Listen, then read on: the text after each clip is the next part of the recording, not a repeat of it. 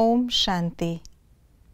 ब्राह्मण जीवन की शुरुआत, हम सब का ईश्वरीय बचपन।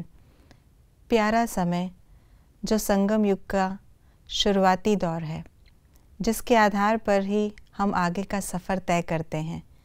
और इस जीवन में उतार चढ़ाव जब आते हैं तो बाबा हमें उसी ईश्वरीय बचपन को स्मृति में लाने को कहते हैं, क्योंकि वो बचपन बहुत प्यारा है, उमंग उत्साह वाला है। तो अपने इस जीवन को सदा ही उमंग उत्साह में रखने के लिए उस ईश्वरीय बचपन को कभी नहीं भूलना। आज के महावाक्य बाबा ने इसी विषय पर चलाए तो आइए रिवाइज करते हैं आज के 29 जून 2023 के महावाक्यों को। बाप की हम बच्चों प्रति माया से सावधानी। माया के युद्ध में हार नहीं जाना, भाग नहीं जाना, अगर भुलाया तो रोना पड़ेगा। शिव बाबा को याद करने से क्या फ़ायदे होते?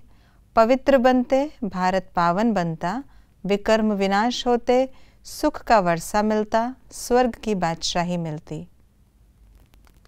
शिव बाबा को याद ना करने का क्या परिणाम होता? ट्रिब्यूनल बैठेगी, बहुत रोना पड़ेगा, बहुत पछताना पड़ेगा, विकर्म विनाश नहीं होंगे, पापों का बोझा रह जाएगा, धर्मराज साक्षात्कार कराएँगे। ईश्वरीय बचपन को भुलाने का क्या परिणाम होगा? रोना पड़ेगा ऊंचते ऊंच वर्षा गंवा देंगे। सतगुरु का निंदक बनने का क्या परिणाम होगा? सजा खानी पड़ेगी, पद कम हो जाएगा। क्या होने से क्या होता है? मायाजीत बनने से देवता वर्ण में जाते, बाप को फारकती देने से अधम गति को पाते, सतयुग में पुनर्जन्म लेने से नाम रूप बदल जाता फुल पास होने से सूर्यवंशी घराने में राज्य मिलता। बाप द्वारा भारत का प्राचीन योग सिखलाने से भारत पावन बनता। मम्मा बाबा मिसल मेहनत करने से भविष्य तख्त के मालिक बनते। रचयिता और रचना की नॉलेज को न जानने से भारतवासी अथवा सब बच्चे दुखी होते। क्या बनने से स्वर की बादशाही मिलती है? आज्ञाकारी, वफादार। होली हंस की विशेषता क्या है? ये दिव्य बुद्धि का वाहन है। तीनों लोगों की सैर कराता सभी वाहनों से तीव्र गति वाला है। किसको क्या कहा जाता है?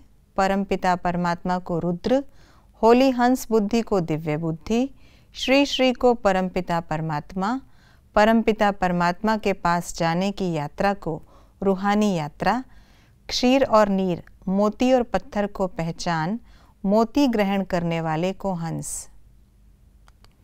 सर्वश्रेष्ठ सेवा क्या है? अपनी सर्वशक्तियों को अन्य के प्रति विल करना।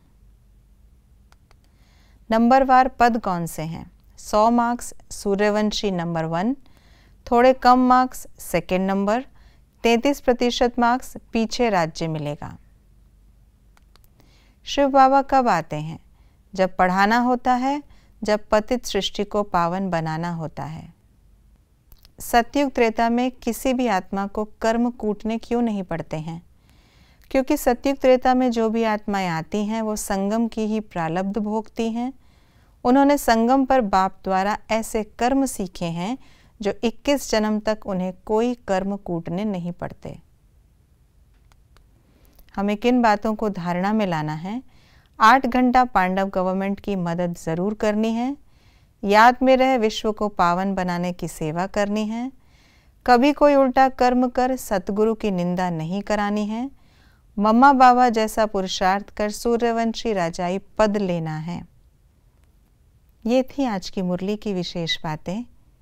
ज्ञान के सागर, बेहद के बाप ने हम बच्चों को स्मृति दिलाई है कि ऊंच पद की प्राप्ति के लिए हमें अपने ईश्वरीय बचपन को सदा स्मृति में रखना है और सूर्यवंशी राजाई में ऊंच पद पाने के लिए इस स्मृति में रहने के साथ साथ हमें आज्ञाकारी और वफादार बनकर भी रहना है।